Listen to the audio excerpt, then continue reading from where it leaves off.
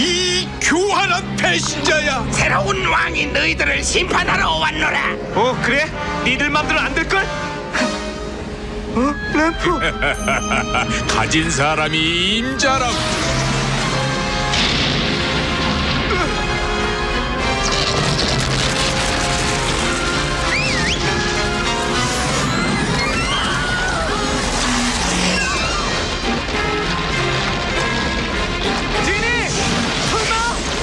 미안하다. 나와보니 주인이 바뀌었어. 자파 당장 멈추지 못할까 아 이제는 사정이 달라졌어. 명령하겠다. 나에게 엎드려 절을 하도록 하라. 그런 일은 절대로 없을걸. 그저 자존심들만 살아가지고. 만약 새로운 왕에게 머리 숙이지 않으면 너희들의 그 찬란 목을 마법사 앞에 내놔야 될걸? 지니 두 번째 소리다. 날 이 세상에서 가장 무섭고 능력 있는 마법사로 만들어다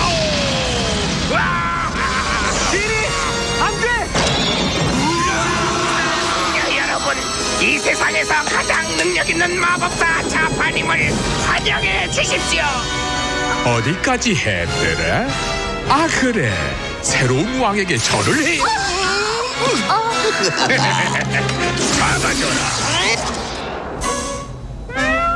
어 공주님 그대에게 꼭 소개해주고 싶은 사람이 하나 있어 자파!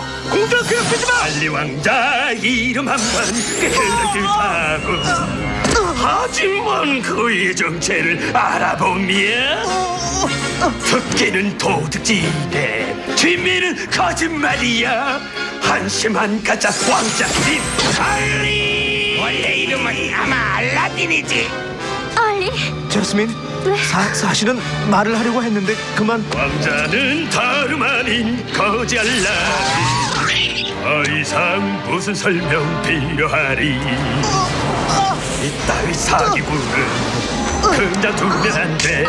저 멀리 귀양본에 혼내줘야 돼 그가 갈땐 오직 한 곳 저 칠구 끝쪽에 꽁꽁 얼어붙은 저 북으로 꺼져